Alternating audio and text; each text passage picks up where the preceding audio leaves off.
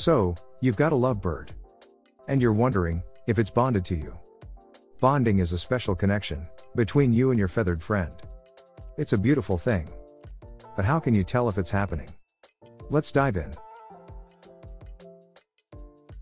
Your lovebird loves to be with you.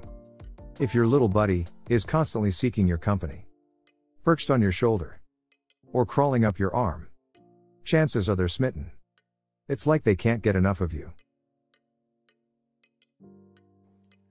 Sound mimicking. Imitation is the sincerest form of flattery.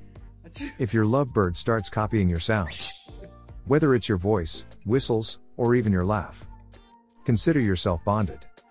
They're trying to connect with you on a whole new level. Grooming behavior. Lovebirds are naturally preening creatures. If your bird starts preening your hair, skin, or clothes, it's a clear sign of affection. They're treating you like one of their own flock. Tail wagging. Just like dogs, lovebirds communicate with their body language.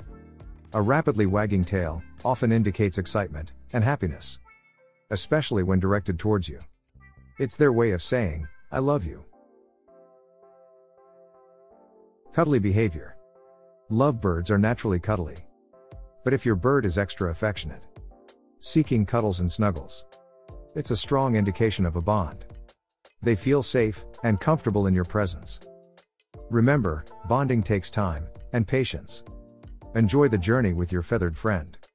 And cherish the special connection you're building.